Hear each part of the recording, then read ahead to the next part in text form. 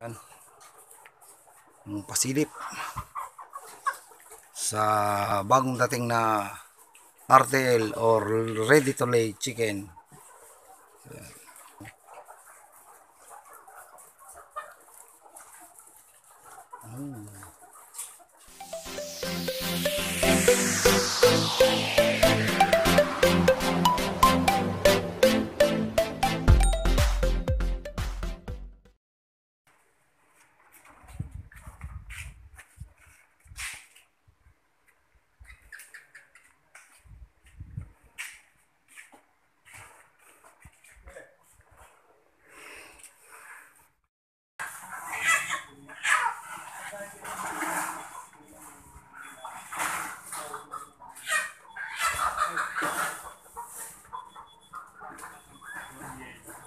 Ha? Parang lang.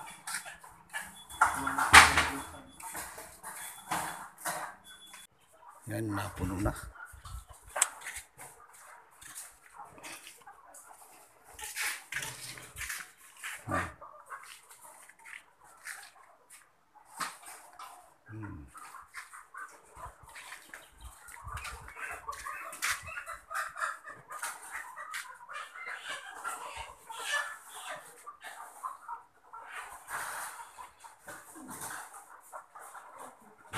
Tapos yung ginagawa kong ano, wig.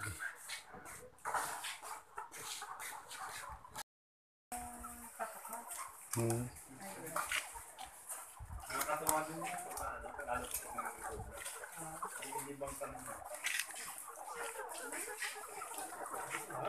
Hmm.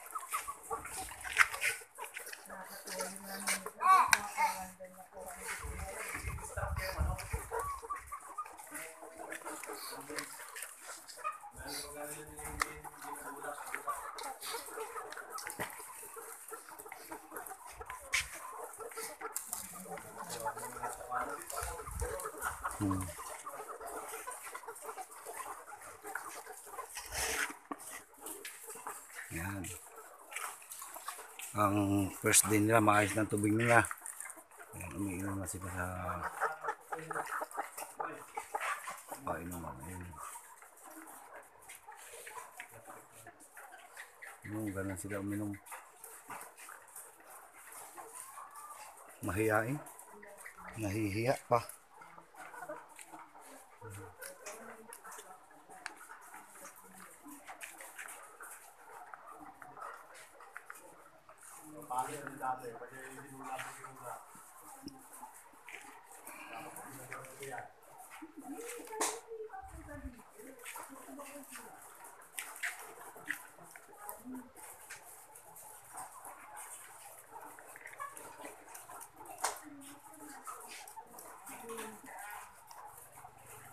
One five seventy ang ah, laman nito. Pero ito dumating ng ano 1480 lang. Kaya ano meron pang bakante. Kaya ginawa, binawasan na lang yung ibabaw. Ginawa lang tatlo tatlo. Yan tatlo. Tatlo lang sa ibabaw. Yan. tapos dito sa baba apat apat na sila. Apat din dito tapos apat din doon. O, ba? Yan.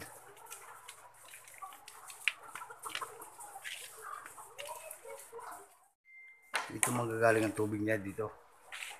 Sa ibabaw. Meron pa sa ibabaw doon. oh. Gagamitan ng filter. Bali tatlong drum. Pababa siya doon. Tapos yan. Akit siya dito. Ito.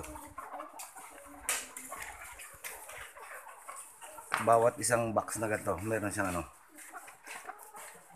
Floater. Floater na sana yung floater na yun. Nagtago na floater na. Ay, naku.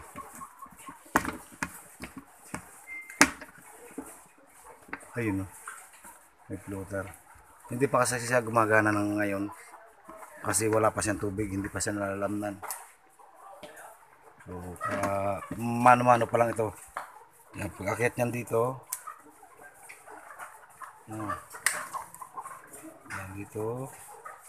Tuloy-tuloy yan doon sa kabila. So, kaya pag natapos itong ah, patubig na ito, na dito yung ah, nag-ooperate. Hindi na siya mag ah, hakot-hakot. Ayan. So, yan na, masaya na, nagtutuka na sila.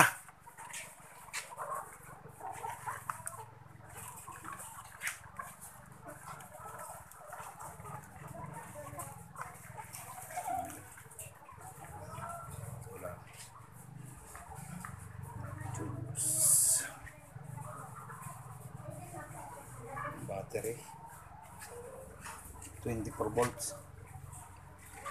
Tapos yun ang dinadrive niya anim na ilaw. Pang pito ito.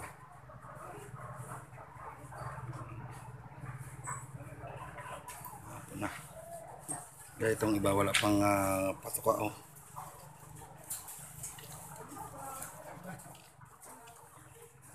Ang ganda na panoorin nila oh. Oh. Pasilip sa bagong dating na RTL or ready to lay chicken. Yan. May inom sila. May inom yun oh.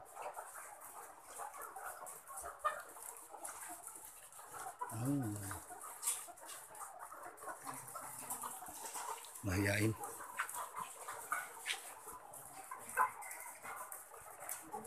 Mahiyain. Ito magagaling yung tubig niya no, sa poso yun. Yung poso na yan. Yan. ah. punta dito. Kasi ito yung building. Siguro mga ano, 30 meters.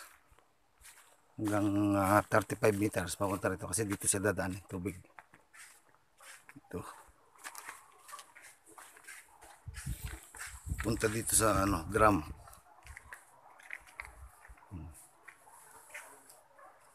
Pinagawa namin kahapon. Stand. Yun nga kanitsa no.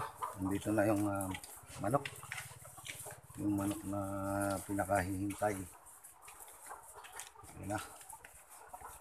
Ah, first ah, first day nila.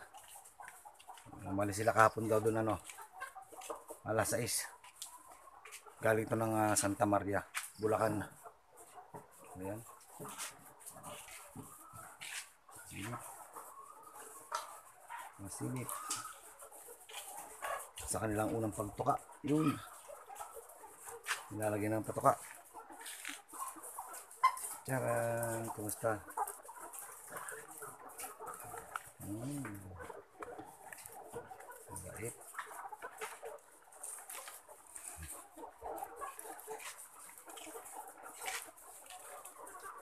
Ang Bait.